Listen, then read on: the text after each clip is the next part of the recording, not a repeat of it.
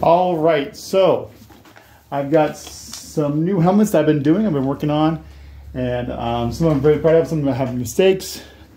Um, so I've been working on a few helmets. It's been a little while since I uploaded, but um, I have a Magneto helmet.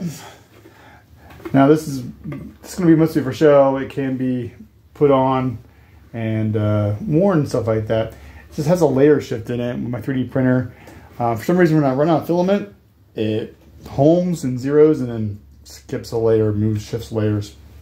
So I tried to get rid of it as best I could, but it still came out pretty well. Very happy with the Magneto helmet. Um, it's pretty cool. Magneto always loved from the comics and from the cartoon series, and this this helmet is really really neat. So I'm very happy with that.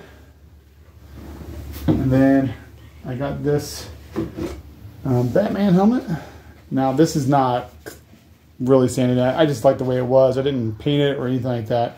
I did put some screening in here for the eyes because um, I don't want to wear eyeshadow when I wear this.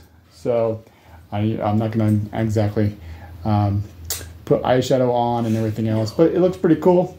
And I had made another Wolverine helmet before and I made it for my brother. Um, but it was FC Cincinnati colors. This one I kind of wanted to go ahead and do more of a weathered look with the dirt and those things and kind of rough them upside on the sides here. Made it look like Wolverine has been in a little bit of a fight or been in some some usage with his helmet. And it's pretty neat. And Wolverine's gonna be coming out with a new movie um, with Deadpool, uh, Deadpool 3. And he'll be in it, which is I think is gonna be a really awesome movie. I think it'll be cool to watch.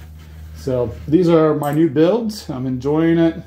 Um, having fun with it, just learning once again lots of new things and having fun building helmets. And so, uh, you know, sanding everything with these two helmets uh, went great. Sand it, sand it, prime it, paint it. Um, it's pretty simple stuff. The nice thing is my 3D printer does a whole helmet when I do the 3D printers, so I don't have to really put things together very much. Mostly just sanding and painting and having some cool things. So, but that's the update. I am working on something um, Star Wars related, and my next video will have Star Wars related uh, uh, helmet, which I'm very excited about because I, I, love Star Wars and I love Darth Vader. Um, so, but yeah, that's what I'm working on, and they'll be on display in my in my main room um, for everyone to enjoy. Thanks. Bye.